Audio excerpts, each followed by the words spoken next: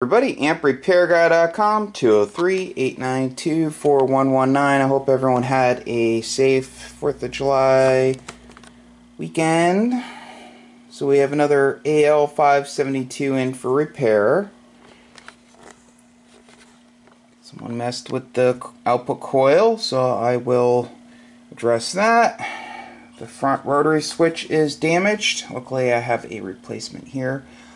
I'll be getting those. So I already have the one for the SB220 slash 221, HL2200, SB200, so I'm going to be getting more parts and I'll have them on the Harbach site. So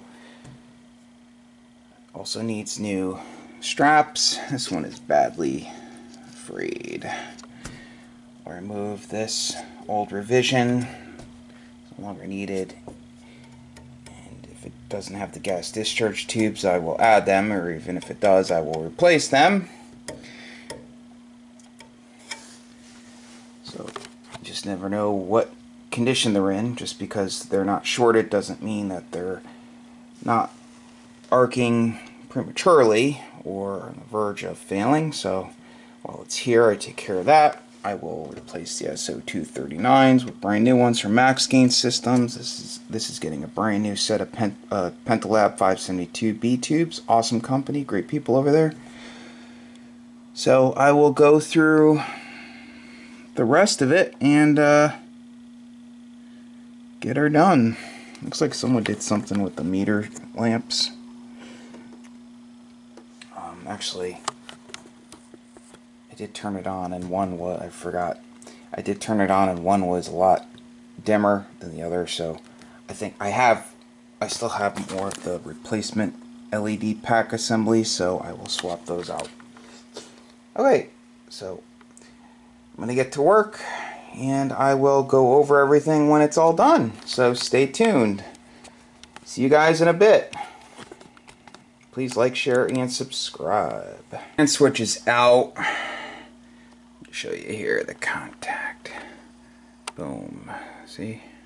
Blown apart. So I'm going to get back to work. See you guys soon. Place the two gas discharge tubes. Here's one of them. The other one's around here somewhere. Here it is. Both of them. Socket clips were spread big time. So I compressed them. Actually, I'm going to compress this one here more. So someone must have been putting the tubes in at an angle. Even the filament ones were spread. You know, if someone forces the two large pins into this, uh, the two smaller holes, sometimes those ones can be goofed up and spread a lot, but I always want to make sure you when you put the tubes in, you go straight in. I also put in a longer screw. Okay, so cover back. We'll compress this again, and um, I mean, go ahead and compress this and a little more, and then put the cover back on. So back with the completed Ameritron AL572. I'm going to show it working on 3.9 megs. That's what the customer requested. When I'm all done testing, I will remove the cover and show you the inside. Okay. okay so we got the 1 kW slug. Bird meter is on PEP going into a bird attenuator load. Audio hello, hello, hello, 1 kW, kW, 1 kW, 1 kW, 1 kW, tit tit tit tit tit tit, roughly 50 watts. Audio tit tit tit tit tit. Audio tit tit tit tit tit. Hello, hello, hello, hello, hello, hello, hello, hello, hello, hello. Reflect this flat. Tit tit tit tit tit. Audio hello, hello, hello, hello, hello, hello, hello finish testing the other bands and then I'll pull the top off and show you the inside. See you soon. Stay tuned. Back with the inside of the completed AL572. So it's got a brand new set of Pentalab tubes. They had some of these left so they sent them to me. These are the special ones. I did a video on a while back. It's great company. Great people over there at Penta. keep me stocked up because I go through so many amplifiers. Keeps them rolling. Remember, customers get the dealer price, I make nothing, and I test the customer's amp with the customer's 572B tubes. So the 3500Zs just get drop shipped to the customer. So, air variable capacitors looked okay. I took the band switch out, replaced the damaged wafer, fixed up the coil spacing, placed the straps on the parasitic suppressor board, rid of the cap diode revision back here, put in new gas discharge tubes under the sockets. Like I showed you in the previous uh, one of the previous videos Compress the socket clips.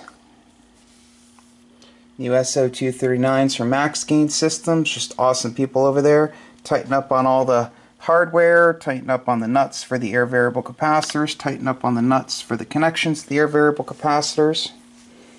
Replace the the meter LED pack the other one was fine so I left that alone replaced the one that someone had swapped out and damaged. Someone had their hands in this at some point, so it had to correct some other things. Mostly solder joints. Replaced the transistor for the bias circuit. It was shorted. And uh, that's about it.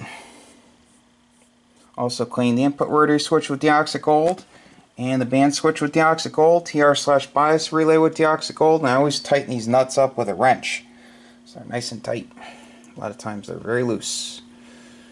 Okay, so yeah, someone had a was that a uh, one of the series glitch resistors blow open because the board's all damaged right there. So my dehumidifier is full. You hear the beeping? So I keep the humidity level to 50% in the other room where I store all the carbon comp resistors and Harbach kits and all that stuff and my Rockwell stuff. Not good for uh, humidity is not good for that stuff. Okay, so that's about it. Please like, share, and subscribe. I'd really appreciate it.